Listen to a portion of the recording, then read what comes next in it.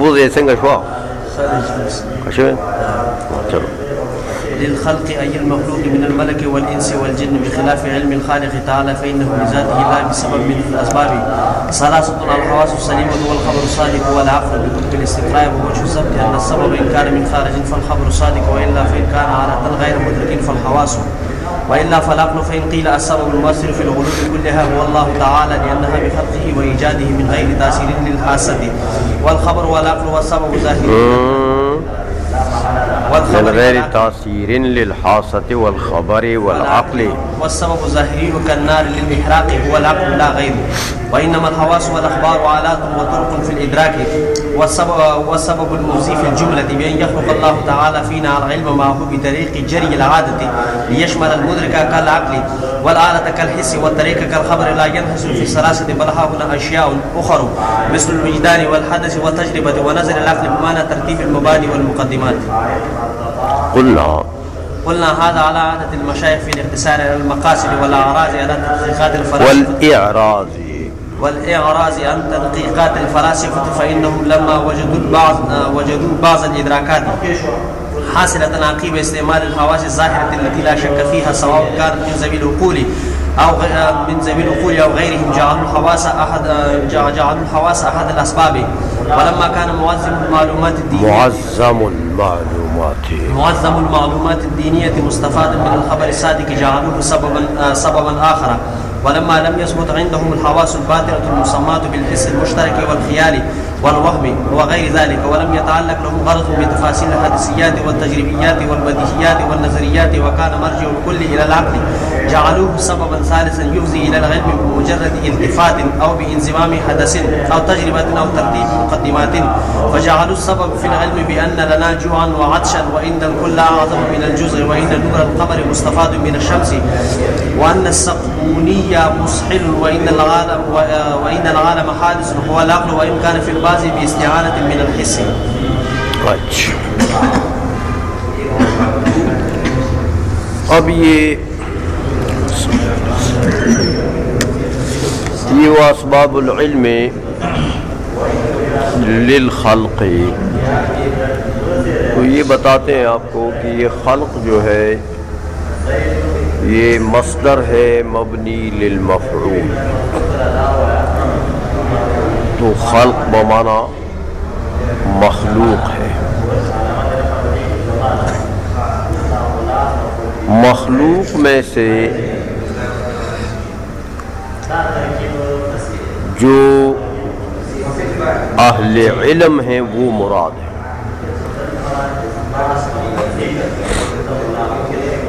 ساری مخلوق نہیں، کیونکہ ساری مخلوق میں تو جمادات اور نباتات اور ساری چیز آ جاتی ہیں۔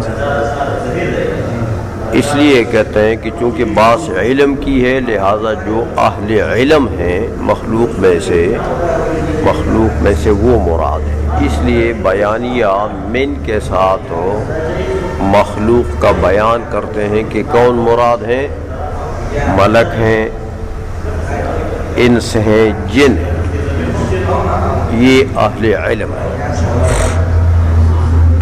تو باقی مخلوق جو ہے، جیسے یہ بہائم وغیرہ ہیں، وہ اہل شعور ہیں۔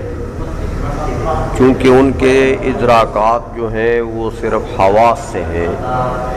تو حواس کے ادراک کو شعور کہتے ہیں، علم نہیں کہتے۔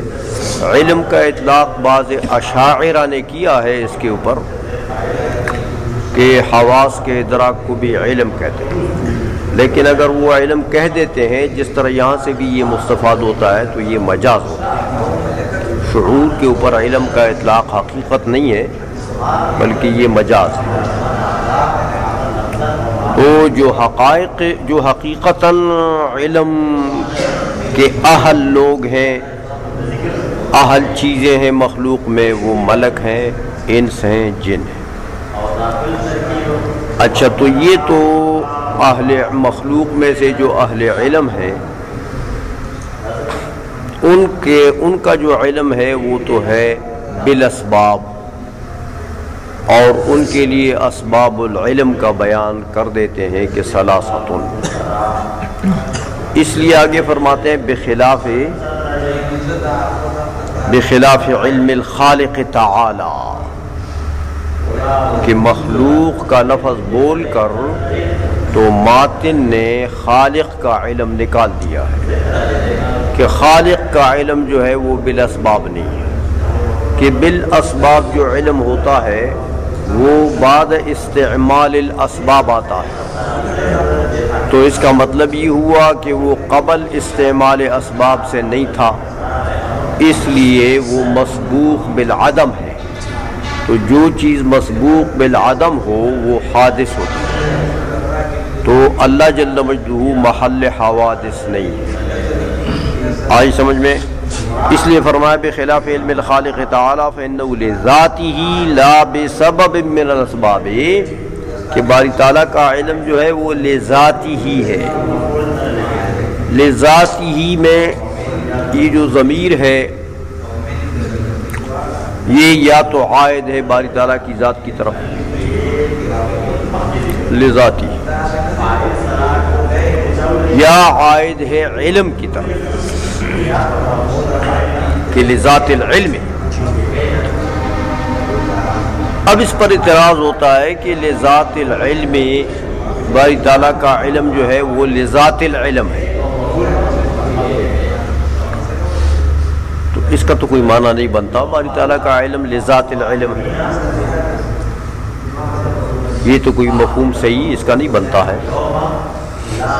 اس کا جواب یہ ہے کہ مفہوم بنتا ہے اگر علم کی طرف بھی عائد ہو جائے۔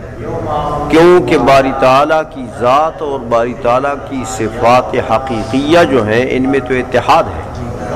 چیز تو ایک ہے۔ اس لیے لذاتی ہی تعالیٰ کہنا یا لذات العلم کہنا معال دونوں کا ایک ہے۔ آئی سمجھ میں؟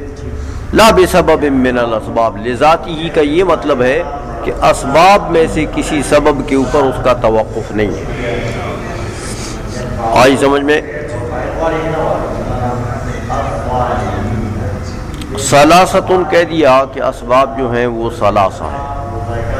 تو ان کا بیان کر دیا الحواس السلیمت والخبر الصادق والعقل حواس کو سلیمہ سے مقید کر دیا۔ کہ حواس فاسدہ جو ہیں وہ داخل نہیں۔ ہے وہ سبب علم نہیں ہے کہ حواس کو اگر فساد حواس میں پیدا ہو جائے، جیسے آپ نے پہلے پڑھا کہ سفرا غالب ہو گیا۔ تو ذوق میں فساد آ گیا۔ ہاں بینگا ہو گیا۔ تو بسر میں فساد آ گیا۔ اسی طرح اسبابی جزیہ جو امراض ہیں، لواحق ہیں، ان کی وجہ سے اگر حواس میں فساد آ جائے تو وہ حواس پھر مدرک نہیں ہے وہ اسباب علم نہیں ہے بلکہ الٹا وہ اسباب جہل بن جاتے ہیں۔ اس لیے سلیمہ سے ان کو نکال دیا ہاں۔ خبر صادق اور عقل اب یہ کہتے ہیں کہ یہ جو سلاست ان کا حکم انہوں نے لگا دیا کہ اسباب العلم للخلق سلاست یہ حصر تین کے اندر یہ استقرائی ہے، عقلی نہیں ہے۔ شارع فرماتے ہیں، اس لیے کہتے ہیں بے حکم الاستقراء ہاں، استقراء کا یہی حکم ہے۔ ہم نے جب تتبع کیا، تلاش کیا تو ہمارے تتبع و تلاش کا نتیجہ یہی نکلا کہ بھئی تین اسباب ہیں۔ ہاں باقی اگر کوئی شخص اور آ جائے اور وہ ہم سے بھی زیادہ تلاش کرے اور تتبع کرے اور نکال لے، تو وہ اس کے منافی نہیں ہے۔ آئی سمجھ میں؟ اب یہ وجہ حسر بیان کرتے ہیں، فرماتے ہیں کہ وہ وجہ ضبط وجہ ضبط کیا ہے؟ کہتے دیکھو بھائی سبب کو دیکھیں گے۔ ہاں سبب کو دیکھیں۔ وجہ ضبط ان سببا ان کا نم ان خارجن فل خبر سبب جو ہے، وہ اگر مدرک سے خارج ہے، مدرک کے اندر نہیں ہے۔ مدرک سے خارج ہے، تو پھر اس کو کیا کہتے ہیں؟ خبر صادق۔ تو خبر صادق تو باہر سے آتی ہے نا۔ وہ اللہ اور اگر مدرک سے خارج نہیں ہے تو وہ ان کانا آلتاً غیر مدرکن، اگر وہ ایسا آلہ ہے کہ مدرکہ نہیں۔ ہے تو کہتے ہیں وہ پھر فل حواس ہے۔ وہ حواس ہے۔ وہ اللہ اور اگر آلہ مدرکہ ہے تو فل عقل وہ عقل ہے۔ یہ وجہ حسر بیان کرتے ہیں تو اس میں آپ نے دیکھ لیا کہ حواس کو تو غیر مدرک قرار دے دیا اور عقل کو مدرک قرار دے دیا۔ کل میں نے آپ کو بتایا تھا کہ اصل مدرک تو نفس ناطقہ ہے۔ عقل کو مدرک کہتے ہیں اسی لیے کہ وہ ادراک کے لیے سبب قریب۔ سبب تو مجازن اس کو بھی مدرک ہو۔ کہہ دیتے ہیں۔ فَإِن قیل سے ایک سوال ہوتا ہے، اس کو نقل کرتے ہیں، آگے پھر جا کر اس کا جواب دیں۔ سوال یہ ہوتا ہے کہ تم نے تو وجہ ضبط نقل کر دی یہاں پر تین میں، کہ اسباب علم تین ہے اور یہ وجہ ضبط ہے۔ تو میرے بھائی سبب جو ہے، ایک تو سبب حقیقی ہے جس کو سبب مؤثر کہتے ہیں۔ سبب مؤثر۔ اور ایک سبب ظاہری ہے کہ وہ مؤثر تو نہیں ہے، لیکن ظاہراً ظاہراً نسبت شے جو ہے وہ اس کی طرف ہوتی ہے۔ بظاہر۔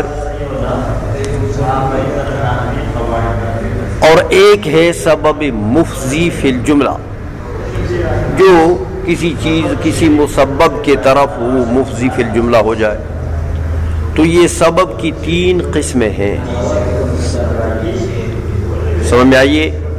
تو اگر سبب سے مراد تم لیتے ہو، یہ متن میں جو اسباب العلم ہے سبب سے اگر مراد ہے سبب حقیقی، تو مطلب یہ ہوگا کہ اسباب حقیقیہ سلاستن تو یہ بات بھی غلط ہے۔ کیونکہ وہ سبب حقیقی جو مؤثر حقیقتاً ہے، وہ تو صرف ذات باری تعالیٰ۔ ہے سمجھ میں آئیے؟ تو وہ تو تین نہیں ہے وہ تو پھر ایک ہے۔ آئی سمجھ میں اور اگر سبب سے مراد سبب ظاہری ہے کہ ظاہراً گویا کے علوم کا اسناد اس کی طرف ہوتا ہے، جیسے نار کے طرف احراق کا اسناد ہوتا ہے، اور سمندر کی طرف اغراق کا اسناد ہوتا ہے۔ تو ایسے اگر سبب ظاہری مراد ہے سمجھ آئیے تو سبب ظاہری تو پھر صرف عقل ہے۔ سمجھ آئیے ظاہراً لوگ علم کی نسبت کس کی طرف کرتے؟ عقل کی طرف۔ بڑے علم والا آدمی ہوتا ہے تو کہتے ہیں، یار، بڑا عقل آدمی ہے۔ ہاں، تو عقل جو ہے، اس کی کام کرتی ہے۔ آئی سمجھ میں؟ تو اگر سبب سے سبب ظاہری مراد دیتے ہو تو بھی سلاستن کہنا غلط ہے۔ پھر بھی تین نہیں ہے۔ وہ تو عقل ہے، ایک ہی عقل ہے۔ آئی سمجھ میں؟ باقی جو یہ حواس ہیں یا اخبار ہیں، حواس تو آلات ہیں۔ سب لوگ مانتے ہیں کہ حواس کیا ہے۔ غیر مدرک چیز ہے آلات علم ہے اور اخبار جو ہے خبر صادق جو ہے یہ تو طرق العلم ہے یہ تو علم کے سبل ہیں۔ علم کے راستے ہیں۔ ہاں یہ تو گویا کہ سبب ظاہری نہیں ہے۔ آئی سمجھ میں؟ تو اگر سبب ظاہری مراد دیتے ہو سبب سے تو یہ بھی ٹھیک نہیں سلاست نہیں ہے بلکہ وہ تو صرف عقل ہے۔ اور اگر سبب سے مراد ہے سبب مفضی العلم فی الجملہ، تو میرے بھائی پھر سلاستن کہنا غلط اس لیے ہے کہ وہ تو بہت سے۔ مفضی العلم تو صرف تین نہیں ہے۔ مفضی العلم تو دیکھو وجدان ہے۔ مفضی العلم جو ہے، وہ تو حدث ہے۔ مفضی العلم تو تجربہ ہے۔ یہ تو بہت ہی چیزیں۔ تو اگر سبب سے مراد سبب مفضی ہے، تو پھر سلاستون کا کہنا بھی ٹھیک نہیں ہے۔ آئی سمجھ میں؟ تو یہ جو تم نے کہا کہ سلاست اسباب العلم للخلق سلاست یہ کس معنی میں ہے سبب؟ تین معنی ہیں اور تین معنوں میں سے تو کوئی بھی یہاں صحیح نہیں ہو سکتا ہے۔ فَإِن قیل سے اس سوال کو نقل کیا۔ ہے سمجھ گئے سوال کو؟ ترجمہ کرو۔ اگر یوں کہا جائے کہ السبب المؤثر فی العلوم کلہا هو اللہ تعالی۔ سبب مؤثر اگر سبب سے مراد ہے تو تو اللہ تعالی ہے۔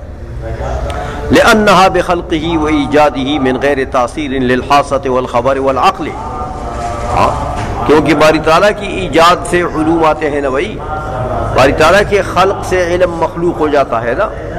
تو باقی سب، باقی جو یہ تین تم نے گنے ہیں یہاں پر۔ ہاں یہ جو حادثہ ہے خبر صادق ہے عقل ہے ان, ان کو تو کوئی تاثیر نہیں۔ یہ تو اسباب مؤثرہ نہیں ہے۔ اچھا۔ اور اگر سبب سے مراد سبب ظاہری ہے تو پھر بھی سلاست ان کا کہنا ٹھیک نہیں ہے۔ اس لیے کہتے ہیں وہ سبب ظاہری کنار الحراق هو العقل لا غیر ہاں، اگر سبب ظاہری لے تو وہ بھی ایک ہے۔ وہ کیا چیز ہے؟ عقل۔ آئی سمجھ میں؟ وَإِنَّمَا الْحَوَاسُ وَالْأَخْبَارُ آلَاتٌ وَطُرُقٌ فِي الْإِدْرَاكِ۔ ہاں اخبار اور حواس جو ہیں، یہ تو آلات ہیں اور طرق فی الادراک ہیں۔ تو وہ بھی اسباب مفضیہ نہیں ہے اسباب ظاہرہ نہیں ہے اچھا اور اگر سبب سے مراد ہے سبب مفضی تو کہتے ہیں وہ سبب المفضی فی الجملت اس کا کیا مطلب ہوگا سبب مفضی فی الجملہ کا؟ کہتے بے ان یخلق اللہ تعالی فین العلم معه بطریق جری العادت. سبب مفضی فی الجملہ کا یہ مطلب ہے کہ جب وہ سبب متحقق ہو جائے تو باری تعالی کی عادت ایسی جاری ہے کہ وہاں وہ علم پیدا کر دیتا ہے. سبب مفضی کا کیا مطلب ہے؟ کہ جب وہ سبب متحقق ہو جائے تو باری تعالیٰ کی عادت کریمہ ایسی جاری ہے کہ وہاں علم پیدا کر دیتا ہے۔ سمجھ میں آ گئی ہے؟ اس کو کہتے ہیں سبب مفضی تو اگر یہ سبب مفضی مراد اس لیے ہم نے کہتے ہیں، یہ تعریف کر دی، عام کر دیا سبب مفضی کو کہ لیشمل المدرکا کل عقل والآلتا کل حصے والطریقہ کل خبر تاکہ ان سب کو شامل ہو جائے۔ تو ٹھیک ہے، عقل بھی آ گئی اس میں۔ جب عقل ہو تو عقل کے استعمال کے بعد باری تعالیٰ کی عادت جاری ہے کہ وہ علم پیدا کر دیتا۔ حواس کے استعمال کے بعد باری تعالیٰ کی عادت جاری ہے کہ علم پیدا کر دیتا۔ خبر کے، خبر صادق کے آ جانے کے بعد باری تعالیٰ کی عادت جاری۔ ہے تو سب کو، مدرک، غیر مدرک سب کو شامل ہو گیا سبب مفضی تو کہتا ہے اگر یہ سبب مفضی مراد ہے تو لا ينحصر فی السلاستی یہ تو تین میں منحصر ہے نہیں۔ بل ہا ہنا اشیاء اخر مثل الوجدان والحدث والتجربت ہاں۔ ونظر العقل بمعنى ترتیب المبادی والمقدمات۔ سمجھ میں آ گئی ہے؟ یہاں تو بہت سی چیزیں اور بھی ہیں جو سبب مفضی ہے علم کی طرف، جیسے وجدان ہے ہاں جیسے حدث ہے۔ دیکھو، وجدان جو ہے، وہ بھی سبب علم ہے۔ آپ جو آپ کے نفسانی کیفیات ہیں، نفسانی کیفیات کا ادراک آپ کو کیوں ہوتا ہے؟ کیسے ہوتا ہے؟ وجدان سے۔ ہاں؟ آپ کو کوئی غم کی خبر مل جائے تو ایک کیفیت اندر پیدا ہو جاتی ہے جس کو آپ حزن کہتے ہیں، غم کہتے ہیں۔ اس کا ادراک کیسے ہوتا ہے؟ وہ وجدان سے ہوتا ہے۔ خوشی کی خبر مل جاتی ہے تو آپ کے اندر ایک کیفیت پیدا ہو جاتی ہے جس کو ہم سرور کہتے ہیں یا فرح کہتے ہیں، اس کا ادراک کیسے ہوتا ہے؟ وجدان سے ہوتا ہے۔ اور پیر کو جب بھوک لگ جائے، تو وہ بھوک کا احساس کیسے ہوتا ہے؟ وہ وجدان سے ہوتا پیاس لگ جائے ہاں کباب کھانے کو دل دل چاہے ہاں مچھلیاں کھانے کو دل چاہے، تو یہ جو چیزیں ہیں، ان کیفیات کا ادراک جو ہے، یہ کیسے ہوتا ہے؟ وجدان سے ہوتا ہے۔ بہت سی چیزیں، بہت سی کیفیات نفسانیاں سمجھ میں آئیے؟ تو یہ وجدان بھی تو سبب مفضیل العلم ہے۔ اسی طرح حدث، دیکھو، اللہ تبارک و تعالیٰ نے جن لوگوں کو قوت قدسیہ دی ہے، اس کو حدث کہتے ہیں۔ وہ ایسا تو نہیں کرتے کہ وہ علم حاصل کرنے کے لیے ترتیبی معلومات دیتے ہیں، تو پھر نتیجے نکالتے ہیں، تو پھر جا کے علم حاصل ہوتا ہے وہ تو ایسا نہیں ہوتا۔ وہ قوت قدسیہ کے ذریعہ سے فوراً مبادیات سے مطالب کے طرف انتقال ہوتا ہے اور مطالب سے مبادی مبادی کی طرف انتقال ہوتا ہے۔ وہاں ترکیب کی ضرورت نہیں ہوتی۔ تو حدث بھی ہاں بلکہ جن کو اللہ تعالیٰ نے یہ قوت قدسیہ دی ہے، علماء لکھتے ہیں کہ ان کے تمام علوم جو ہیں وہ اسی کے ذریعے سے ہوتے ہیں سمجھ آئیے حدث کے ذریعے سے، قوت قدسیہ کے ذریعے سے ان کے علوم، اسی لیے ان کے علوم کو بعض لوگ وہبی علوم بھی کہتے ہیں کہ وہ وہبی علم ہے، وہ قصبی نہیں ہے۔ کیونکہ اس میں ترتیب مقدمات تو ہے نہیں کسب تو ترتیب کو کہتے ہیں۔ سمجھ آئیے پڑھا ہے منطق میں تم نے کہ الجزی لا یکون کاسبا ولا مختصبا جزی جو ہے وہ کاسب و مختصب نہیں بنتا۔ کاسب و مختصب کا کیا مطلب ہے؟ کسب کا کیا مطلب ہے؟ کہ ترتیب معلومات آپ دیں اور مجبورات حاصل کریں۔ یہ کسب تو جن کو اللہ تعالیٰ نے قوت قدسیہ دی ہے، وہ وہاں کسب نہیں کرتے۔ ترتیبی معلومات نہیں دیتے۔ سمجھائیے؟ بس وہ تو ایک نظر بند کر دی۔ الٹے ہی چال چلتے ہیں دیوانگان عشق۔ آنکھوں کو بند کرتے ہیں دیدار کے لیے۔ سمجھ آئی؟ وہ تو ان کا تو معاملہ ہی الٹا ہے۔ وہ تو آنکھیں بند کرتے ہیں تو دنیا منکشف ہو جاتی ہے۔ سارے علوم آ جاتے تو حدث بھی، یہ بھی تو علم کا سبب ہے۔ وہ تجربہ تو تجربہ بھی علم کا سبب ہے۔ بار بار جب ایک چیز پر آپ گویا کہ اور تجربہ کرتے ہیں اور اس کو بار بار عمل میں لاتے ہیں، اور تو یہ علم کا سبب بن گیا پھر۔ اسی طرح نظر عقل جو ہے، بمانہ ترتیب المبادی والمقدمات، یہ بھی سبب ہے۔ تو مطلب یہ ہے کہ اسباب سے اگر اسباب مفضیہ ہیں تو وہ تو بے شمار ہے تو تین کہنا پھر ٹھیک نہیں ہے۔ یہ سوال ہوا کہ اسباب کی تو یہ تین قسمیں ہیں؟ سبب مؤثر، حقیقتاً۔ یا اسباب ظاہریہ یا اسباب مفضیہ تو یہاں تو اسباب العلم میں تین میں سے ایک لینا بھی ٹھیک نہیں ہے۔ تو آخر یہ اسباب العلم جو متن میں ہے، اس سے پھر کون سا سبب مراد ہے؟ قلنا سے جواب دیتے ہیں۔ کہتے بھائی حاضہ على عادت المشائخی فی الاقتصار على المقاصد والاعراض عن تدقیقات الفلاسفت کہتے دیکھو، سبب سے ہم مراد لیتے ہیں یہاں پر سبب مفضی فی الجملہ یا آخری۔ اسباب العلم للخلق سراست اسباب سے مراد کون سے اسباب؟ اسباب مفضیہ فی الجملہ۔ اب تم اعتراض کیا کرو گے کہ بھائی وہ تو بھائی وہ تو بہت سے وہ تو تین میں منحصر نہیں ہے تو اس کا جواب دیتے ہیں کہ تین میں جو انحصار ہے، جو ماتن نے کہا ہے، یہ تین میں انحصار کیا ہے؟ مبنی ہے علی عادت المشائخ۔ اور متکلمین مشائخ کی عادت ایسی ہے کہ وہ صرف مقاصد کے اوپر انحصار کرتے ہیں اور مناطقہ اور فلاسفہ کی جو تدقیقات ہیں ان سے اعراض کرتے ہیں۔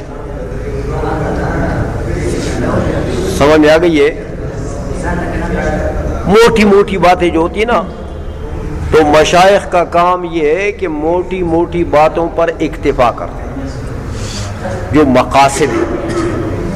باقی جو باریکیاں ہیں، ان باریکیوں کی طرف نہیں جاتے۔ ہیں وہ فلاسفہ کا کام ہے۔ اس لیے کہتے ہیں کہ حاضہ علی عادت المشائخ۔ یہ جو تین میں انحصار ہے حاضہ کا اشارہ کس کی طرف ہے؟ ہاں یہ جو تین میں انحصار ہے ورنہ سبب سے سبب مفضی مراد ہے وہ تو بہت ہے تو تین میں جو انحصار ہے یہ مبنی ہے کس کے اوپر؟ عادت مشائق پر۔ عادت مشائق کیا ہے؟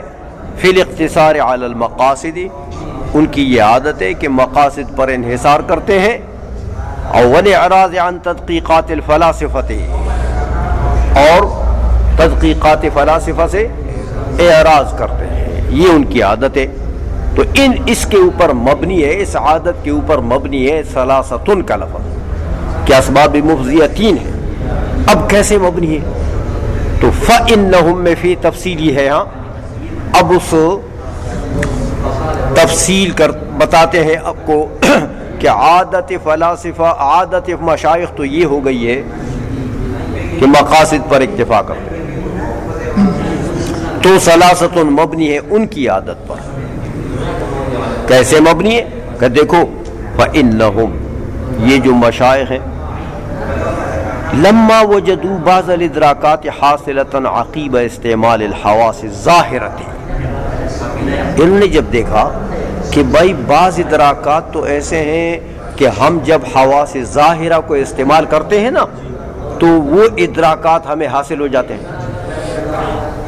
التی لا شک فیہا وہ حواس ظاہرہ ہاں جن کے وجود میں کوئی شک نہیں۔ ہے حواس ظاہرہ تو موجود ہے نا۔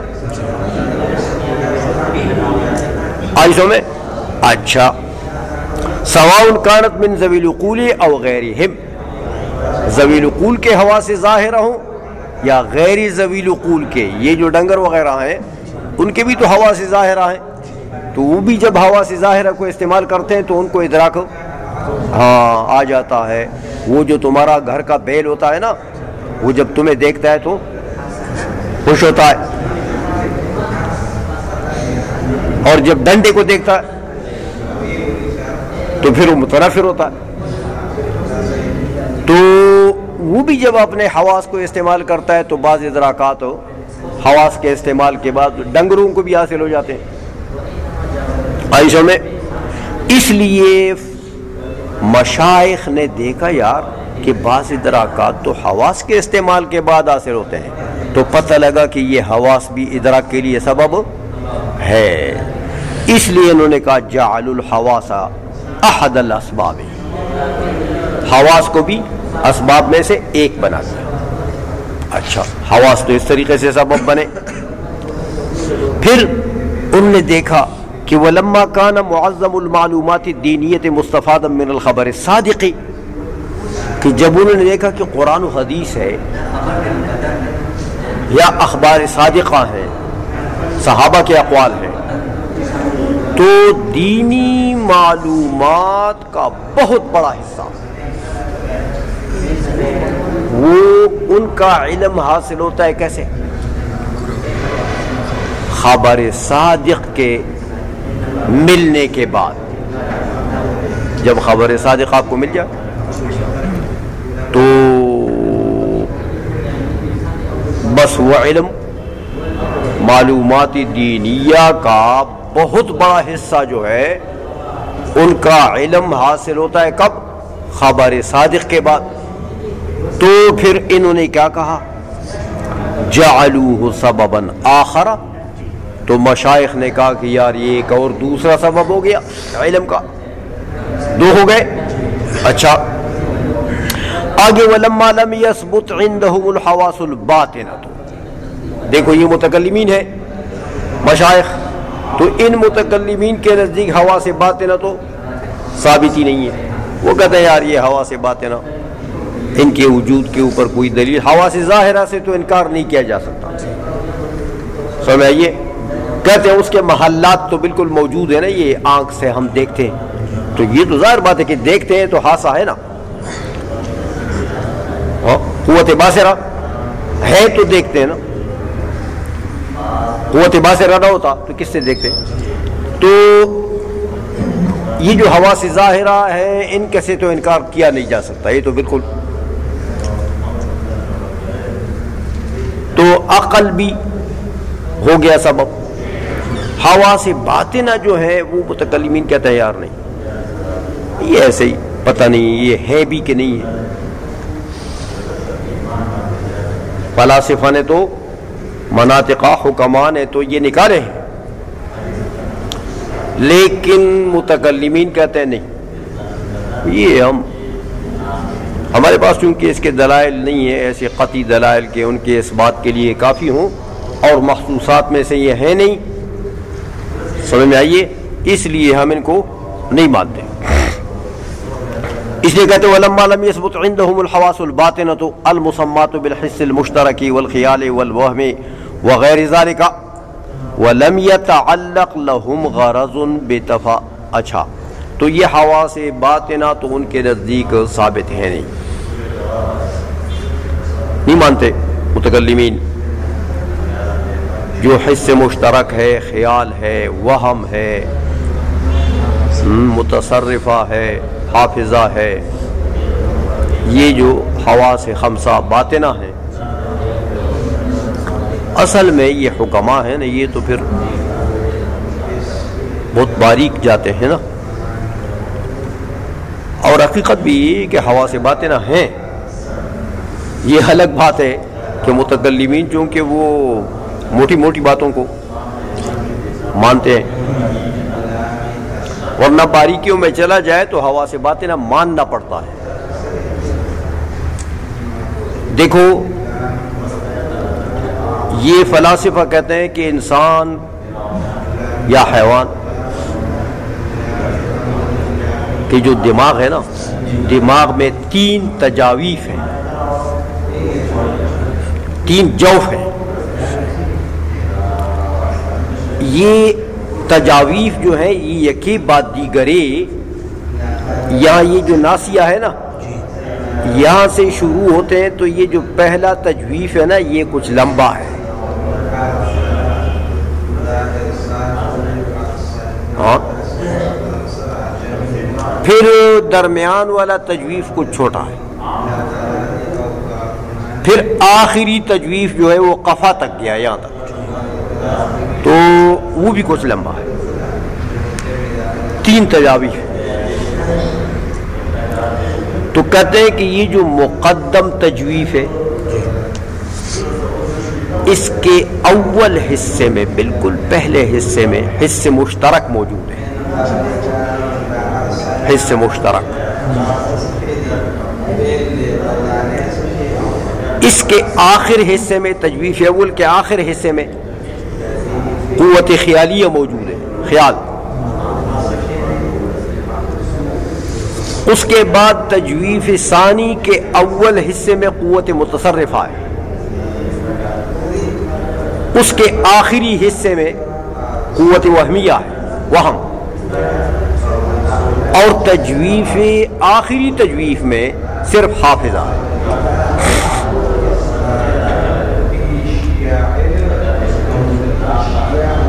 تو حصے مشترک کا کیا کام ہے؟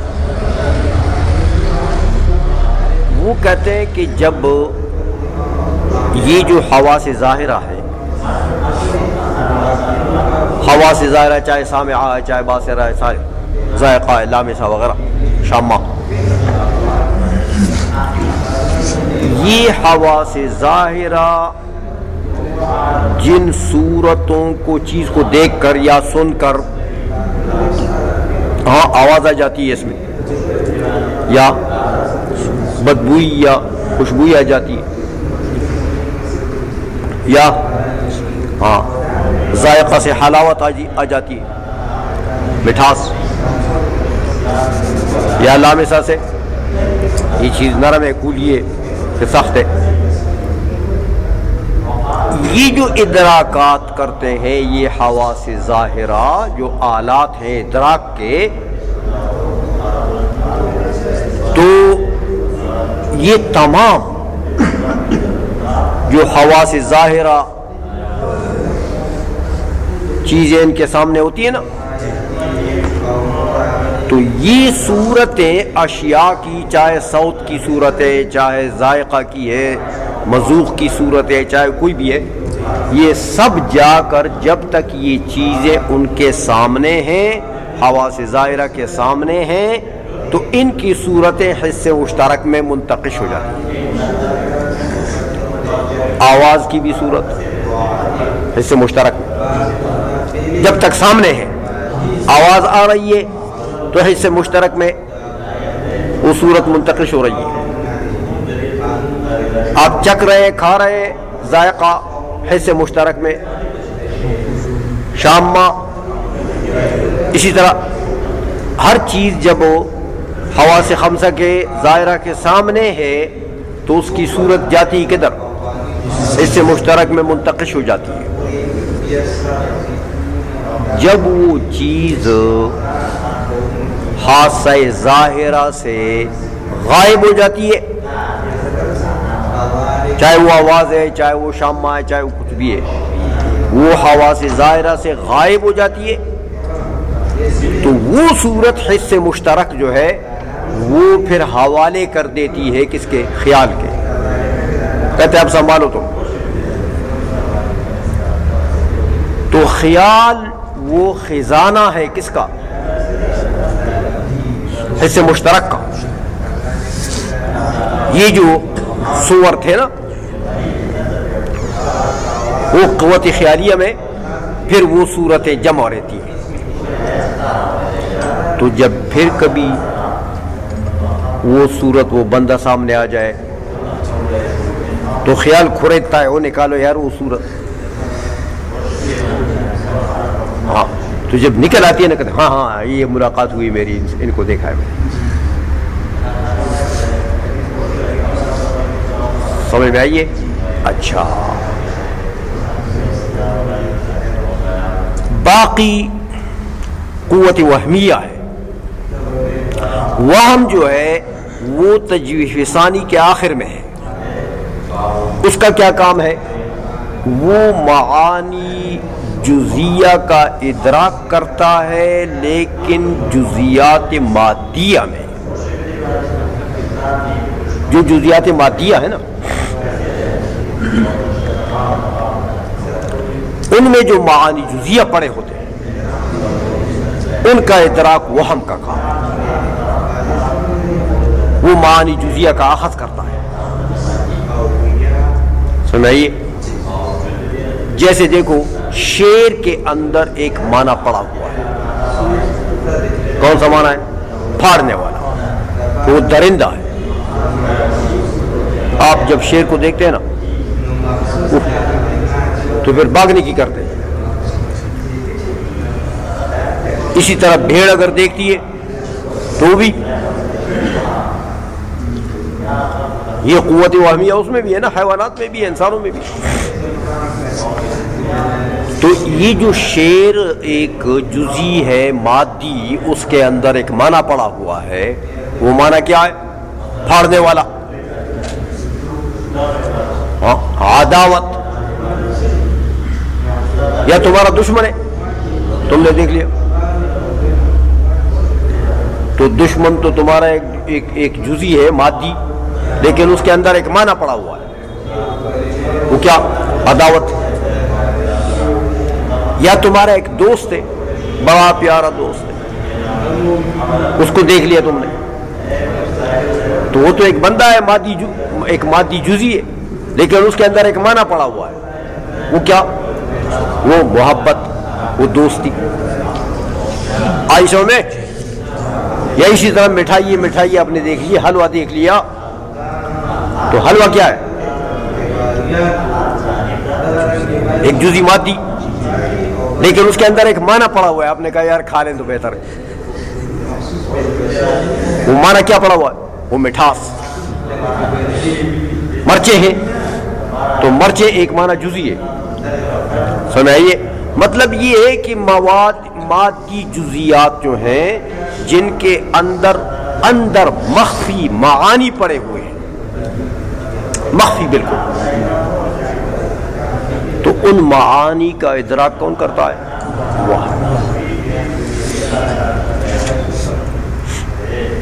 اچھا پھر وہ تو وہ کر لیتا ہے۔ تو وہ پھر ان کو بھیجتا ہے کدھر؟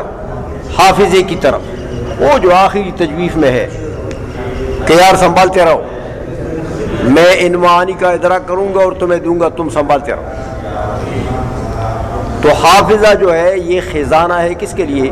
وہم کے لیے۔ لیکن یہ جو وہم ہے، علماء لکھتے ہیں کہ یہ بڑا منداڑو ہے۔ وہم ہے نا؟ یہ یہ ایسی قوت اللہ تعالی نے رکھی یہاں کہ یہ کبھی عقل کے اوپر بھی غالب آ جاتی ہے۔ سمجھائیے؟ عقل کو استعمال کرتی ہے۔ تو غلطی میں ڈالتے سمجھ آئیے اس لیے لوگ جو کہتے ہیں نا، یہ فقہ یہ ہمارے علماء باز کہتے ہیں کہ بھائی یہ یہ جو بات ہے نا، یہ عقلی بات نہیں ہے، بلکہ یہ وہمی بات ہے۔ وہ اس لیے کہ وہ عقل کو وہم وہم کبھی اس کے اوپر غالب آ جاتا ہے۔ تو اس کو استعمال کر کے تو گھڑے میں ڈال دیتے آئی سمجھ میں؟ اچھا اور قوت متصرفہ جو ہے، وہ چونکہ دوسرے تجویف کے مقدم میں ہے یعنی خیال جو یہاں ہے، اور وہ حافظہ جو ادھر ہے۔ حافظہ کے اندر کیا چیز پڑی ہے؟ معانی جزیہ وہ وہم کے مدرکات۔ اور خیال کے اندر کیا چیز پڑی ہے؟ وہ سور، محسوسات کے سور۔ جو حصے مشترک میں تھی، بعد میں چلی گئی ادھر۔ تو یہ جو متصرفہ ہے اس کو متصرفہ اسی لیے کہتے ہیں کہ یہ متصرفہ ان صورتوں میں بھی۔ قوت خیالیہ کے اندر جو ہے، ان صورتوں میں بھی تصرف کرتی ہے اور ان معانی جزیہ میں بھی کرتی ہے۔ صورتوں کو کبھی ترتیب دیتی ہے۔ معانی جزیہ کو کبھی ترتیب دیتی ہے۔ کبھی ان میں جدائی لاتے ہیں۔ ہاں کبھی ان کو تازہ تازہ کرتے ہیں تاکہ ہوا دیں بھائی اس کو، تاکہ یہ بھول نہ جائے۔ قوت خیالی سے کوئی چیز نکل نہ جائے۔ ہاں اسی طرح وہ خزاں، حافظہ سے کوئی چیز، کوئی معنی نکل نہ جائے۔ تو یہ تصرف جو ہے، پھر یہ ہے کہ وہ مانا جزیہ کی ایک مرتبہ شیر دیکھ لیا تو اس سے آپ نے مانا جزی آپ کے ذہن میں آ گیا، وہ چلا گیا۔ حافظے کے اندر پڑا ہوا ہے۔ تو دوبارہ جب شیر دیکھتے نا، تو وہ متصرفہ۔ ادھر سے وہ جو حافظہ کے اندر وہ معنی پڑا ہوا ہے۔ متصرفہ تو اس میں انگلیاں مارتی ہے نا۔ تو متصرفہ وہاں سے وہ معنی ڈھونڈ کے نکال دیتی کہتے یہ یہ اس کے اندر پڑا ہوا ہے، یہ معنی۔ سمجھ میں آ گئی ہے تو مطلب یہ ہے کہ متصرفہ کا پھر یہی کام ہے۔ تو یہ پانچ ہوا سے باطنہ ہے۔ آئی سمجھ میں اور حکما کہتے ہیں کہ ہم نے ان کے محلات کو بھی معلوم کیا ہے کہ یہ کدھر کدھر پڑے ہوئے ہیں۔ کدھر کدھر پڑے ہوئے ہیں۔ یہ کیسے معلوم کیا؟ کہ یہ دو تجویف اول میں ہے، یہ دو تجویف ثانی میں ہے اور وہ ایک تجویف آخر میں ہے۔ یہ کیسے معلوم کیا؟ کہتے یہ ہم نے طب سے معلوم کیا۔ طب سے کیسے معلوم کیا؟ کہتے دیکھو جب اس جگہ کو ضرب لگ جائے نا، اس سے مشترک متاثر ہو جاتا محسوسات کی صورت منتقش نہیں ہوتی۔ جب اس جگہ کو ضرب لگ جائے نا یہاں، تو قوت خیالیہ متاثر ہو جاتی۔ ہے پھر وہ یاد اس کو نہیں پڑتا ہے۔ کہ بھئی یہ بندے کو میں نے دیکھا تھا کہ نہیں دیکھا تھا؟ وہ خزانہ، وہ گڑبڑ ہو جاتا ہے۔ سمجھائیے؟ اسی طرح جب اس سے تجویف اول کے مقدم کو ضرب لگ جائے تو متصرفہ خراب ہو جاتی ہے۔ اس سے آگے تجویف کے آخر کو ضرب لگ جائے تو وہ ہم کو ہو جاتا ہے، مانی جزیہ کا ادراک نہیں کر سکتا۔ اور یہاں کو لگ جائے ضرب، تو حافظہ گڑبڑ ہو جائے۔ سمجھ آئیے اس لیے وہ حکمہ کہتے ہیں، ہم نے ان کے محلی وقوع کو اس طریقے سے معلوم کیا ہے کہ یہ پانچ ہوا سے باطنہ ہیں اور ان کے یہ محل وقوع ہیں۔ سمجھ گئے ہو کہ نہیں سمجھ گئے ہو؟ لیکن متکلمین کہتے ہیں کہ بھئی یہ چیزیں تو ہیں نہیں، ہم تو نہیں مانتے۔ آئی سمجھ میں؟ یہ طب جانے اور تم جانو۔ سمجھ میں آئی؟ تمہارا کام۔ جانے اچھا ایک تو یہ کہا انہوں نے۔ اور دوسری بات یہ کی کہ ولم يتعلق لهم غرض بتفاصيل الحدثيات والتجربيات والبديهيات والنظريات ہاں متکلمین کہتے ہیں، ہمیں کیا غرض ہے یار؟ حدثیات کی تفصیل سے ہم تو علوم قصبیہ کی بات کرتے ہیں۔ علوم قصبیہ کی بات کرتے ہیں۔ جو مشائخ یا جو لوگ بھی جن کو قوت قدسیہ حاصل ہے، وہ جانے ان کا کام جانے۔ ہمیں ان سے کیا غرض ہے؟ آئیش ہمیں تجربیات سے بھی ہمیں کوئی غرض نہیں ہے۔ بدیہیات اور نظریات سے بھی ہمیں کوئی غرض نہیں ہے۔ ہم تو علوم قصبیہ کی بات کرتے ہیں، جس میں کسب کو دخل ہو۔ تو اسباب تو وہاں کام آئیں گے نا، جن علوم میں کسب کو دخل۔ آئی سمجھ میں؟ تو اس لیے ان چیزوں سے کہتے ہیں ہمیں کوئی غرض نہیں ہے۔ لیکن دیکھو، ان سب کا مرجع باوجود اس کے کہتے ہیں متکلمین کہتے ہیں کہ ہمیں ان چیزوں سے غرض نہیں ہے۔ لیکن اس کے باوجود بھی ان سب کا مرجع کدھر ہے؟ عقل کی طرف۔ حدثیات کا مرجع بھی، تجربیات کا بھی، اور نظریات و بدیہیات کا بھی۔ سب کا مرجع کون ہے؟ عقل ہے۔ تو جب عقل ہے تو جعلوہ سببا ثالثا یفضی الى العلم بمجرد التفات۔ انہوں نے تیسرا سبب بنا دیا اس کو۔ تو اسباب العلم سلاست کی بنیاد اس چیز پر ہے۔ کیا اسباب سے مراد اسباب اسباب مفضیہ ہیں؟ اور تین میں جو حسر کیا مشائخ نے، وہ اس طریقے سے کیا ہے۔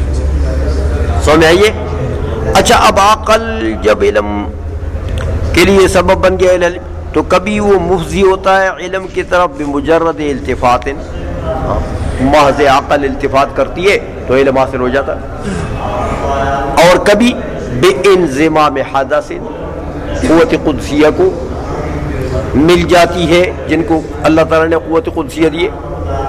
اور تجربت یا جو تجربہ کار لوگ ہیں، عقل کے ساتھ ان کا تجربہ مل جاتا ہے، تو بھی علم حاصل ہوتا ہے۔ اور ترتیب مقدمات یا نظر عقل مل جاتی ہے۔ تو اس صورت میں بھی فجعل السبب فی العلم۔ دیکھو، اب علم ہمیں اس چیز کا بے ان لنا جوعا و عطشا ایک، یہاں سبب کون تھا؟ وجدان۔ بے ان لنا جوعا و عطشا اچھا۔ وان الکل اعظم من الجز یہ بدیہیات میں سے ہے۔ یہاں بھی نظر عقل جو ہے بداحت استعمال کرتی ہے عقل اس کو۔ وان نور القمر مستفاد من الشمس، یہ نظریات کی مثال ہے کہ قمر کا نور مستفاد ہے کس سے؟ شمس سے۔ وان السقمونیا مسہل اور سقمونیا اگر پیو گے تو دست لگیں گے۔ یہ تجربیات کی مثال ہے۔ سقمونیا ایک پودا ہے۔ جو اس پودے کو پانی میں ڈال کر رکھ لیتے ہیں جو دست لگوانے مقصود ہو نا کسی کو، تو اس کا پانی نکال کر اس کو پلا دیتے ہیں، بس دست شروع ہو جاتے ہیں۔ پیٹ جو ہے وہ۔ تو یہ تجرب، تجربیات میں سے ہے یہ۔ وہ ان العالم عالم حادث۔ ہاں عالم جو ہے، یہ یہ یہ نظریات کی مثال ہے، جس میں ترتیبی مقدمات کی ضرورت ہے۔ تو ان تمام چیزوں میں دیکھو، سبب فی العلم جو ہے وہ کیا بنا؟ هو العقل۔ یہ الگ بات ہے کہ عقل نے کبھی تجربہ کو استعمال کیا، کبھی حدث کو استعمال کیا، کبھی کیا نام ہے اس کا تجربے کو استعمال کیا، حدث کو استعمال کیا۔ وہ ان کا نفل باز استعانت من الحص اگرچہ بعض میں حص کی استعانت بھی شامل ہے، لیکن لیکن اصل عقل کے استعمال کے بعد یہ یہ علوم آئے۔ تو اس لیے مشائخ نے کیا کہا کہ سبب ثالث کون ہے؟ عقل ہے۔ تو مطلب یہ ہے کہ اسباب العلم للخلق ثلاثت اسباب سے مراد اسباب مفضیہ فی الجملہ ہے۔ اور سلاست میں جو حصر ہے، یہ بنا ہے کس پر؟ مشائخ کی عادت پر۔ کہ مشائخ کی عادت ایسی ہے کہ مقاصد پر وہ اکتفا کرتے ہیں اور تدقیقات فلاسفہ سے اعراض کرتے ہیں۔